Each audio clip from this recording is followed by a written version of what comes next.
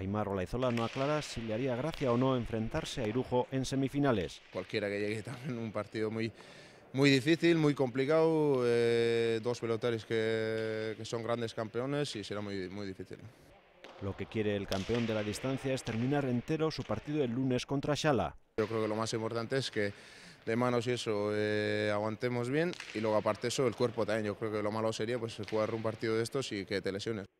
El zurdo de Lecuñe tampoco se jugará nada en el envite. Igual los dos jugaremos más tranquilo, ¿no? Yo también ya sé que estoy fuera, él todavía sigue dentro y para él será, yo creo, un entrenamiento, ¿no? Aymar y Shala ya conocen su futuro inmediato. Uno preparará la semifinal del 4 y medio y el otro el campeonato por parejas. Barriola e Irujo tendrán que esperar al domingo para saber a qué atenerse.